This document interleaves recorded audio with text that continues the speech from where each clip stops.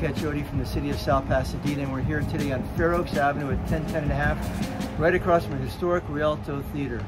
I'm here at the Waverly, it's a bookstore, it's a coffee shop, and a cooking school all in one. So this is our second Merchant Minute. We're gonna do them again this year. We laid off during COVID, but now it's an exciting time and join me as we walk into the Waverly.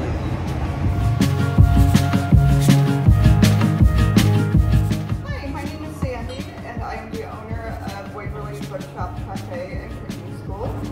We are a cooking school and a coffee shop. Uh, we also have books, which my daughter was a big part of uh, creating Waverly, and she really thought during the pandemic that a lot of people needed to read books, so she really wanted books. Um, we a lot of what we do happens to be charity based. So our coffee, generous coffee, right here. 100% um, of their profits goes back to nonprofits, which is really cool.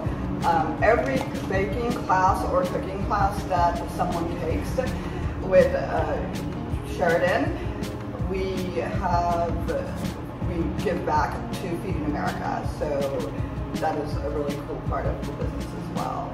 Um, donate books to kids in Africa for any purchases of books made. So um, as well as our empanadas uh, menu, we have a, a, charity in Cordoba, Argentina, which houses children and we donate to them.